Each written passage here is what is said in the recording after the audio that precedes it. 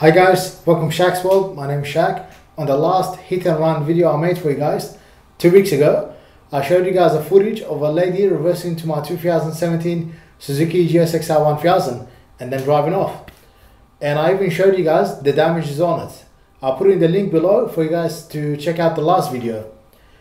The good news is I found the lady that reversed into my motorcycle. The bad news is I don't have insurance. So on this episode, what I'll be doing is I'll be telling you guys how I managed to find the lady that reversed into my motorcycle. But before that guys, please smash the subscribe button and hit the notification bell for upcoming videos. Or you can follow me on Facebook at Shaq's World. So let's get started. You guys might be wondering, how did I manage to find the lady that reversed into my motorcycle? Well, it wasn't an easy task. However, I still managed to find the lady that reversed into my bike. So I went to my local police station to file a police report. I showed him two video footages. The first video footage was the lady walking towards her car. You can see her face very clearly. The second video footage was the lady reversing into my motorcycle and driving off. I said to the police officer, you have all the evidence that you need. How long would it take you guys to find the lady that reversed into my motorcycle? Because this motorcycle is only three months old. The police officer said, Shaq, we're very happy with the evidence you provided. However, it's going to be very hard to find the lady that reversed into your bike for two reasons. The first reason is the number plate is blurry. It's going to be very hard to find her. Second reason is unless she has a criminal record, it's going to be very hard to find the lady that reversed into your bike. Yes, we can see her face in the camera, but if she doesn't have a criminal record, it's going to be very hard to find her. That was around 4 o'clock in the afternoon, 3 or 4 o'clock in the afternoon. So I went back to the convenience store. I said, You really got to help me out. I only had this bike for three months and I don't have insurance. I'm so stressed out. Any information that you have about this lady will help me find her. He said, Shaq, I might have some information that will be useful for you.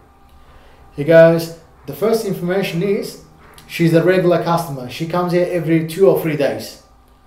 The second information is she lives around the area. And what he done is he gave me a good idea. He goes, if you drive around the area, maybe you'll find the lady that reversed into your motorcycle. And I said, that's a good idea. So what I done, I took a few shots of the lady's face and a few shots of her car. I went home and I'm just thinking, thinking, thinking, how am I going to find the lady? Uh, it was about 10 o'clock at night. I still couldn't sleep. 11 o'clock, I still couldn't sleep. So I said, you know what? I'll grab myself a piece of paper,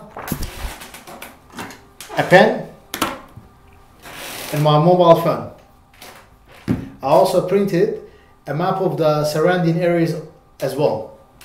I drove around the area, each street that I see the matching car, I'll put a tick against it and take a photo of the car. So if it's a Honda CRV or Honda HRV, I'll take a photo. It doesn't matter if it's a dark silver or like a lighter shade of silver. I'll still take a photo. I left my house around 11. From 11 to 3 o'clock in the morning, all I would do is go around the area and take a picture of every single Honda CRV or HRV.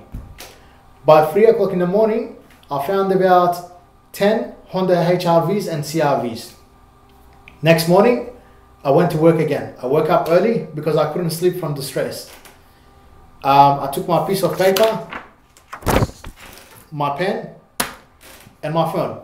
So I had the photos of the cars in my phone, and I had the registration numbers and the street names on the piece of paper. So what I would do is I would go car to car, see who goes inside the car and leaves the driveway. So if it doesn't match the lady, I'll put a cross against it. So I done that from 8 o'clock in the morning till about 4 o'clock in the afternoon. So I went to the first car. The first car didn't have a tow bar, so it didn't match the car that hit my motorcycle. The second car had a step ladder on it. It didn't match that car as well. The third car um, had a mirror in the back. It didn't match that car as well. The fourth car and the fifth car, it was like a darker shade of grey. It was more of a goldy kind of a silver. So those two cars didn't match. I was left with five cars. So on the sixth car, he had a mirror in the back as well.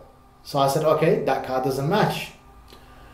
On the four, I think it was on the seventh car. Yeah, it was the seventh car. That car didn't move at all. So that car was suspicious. I put a tick against it. On the eighth car, what I've done is the lady that was walking towards her car, it didn't match the same lady that reversed into my motorcycle, so I put a cross against it. On the last two cars, there was about two cars left. Um, they were suspicious. None of those two cars moved the whole day. So I'd go street to street. I'll go to the first street, that car didn't move, I'll go back to the second street. And I'll go to this first street again, and then the second street. I done that from about just after midday till about four o'clock in the afternoon. About quarter to four, one of the cars, I saw a lady walking towards her car, and it matched the exact same description of the lady that reversed into my motorcycle. As soon as she saw my face, she just drove off. What she didn't realize is I had her number plate written down on my piece of paper. So the only thing I needed was the house address. I got the house address as well. Went straight to my local police station around 4 o'clock in the afternoon. I said, now you guys have all the evidence that you guys need. Please get me the lady that reversed into my motorcycle. The police officer said, Shaq, I'm sorry, we can't help you. I'm not in charge of your case. The last police officer who wrote your statement down is in charge of your case. I'll give you her email address, send her an email with your evidence, and then we go from there. I said, okay. That was on a Thursday afternoon. So I'm waiting Friday, no answer.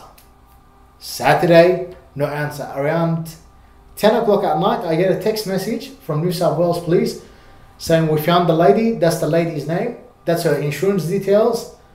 Now it's up to you and her to work it out. And they gave me her driver's license number and contact number as well. I just couldn't believe my eyes, I was so happy. Now I got the lady's details. On the next episode, I'll tell you guys exactly what happened. If the lady fixed my motorcycle or not. But before that guys, please smash the subscribe button and hit the notification bell for upcoming videos. Or you can follow me on Facebook at Shaq's World.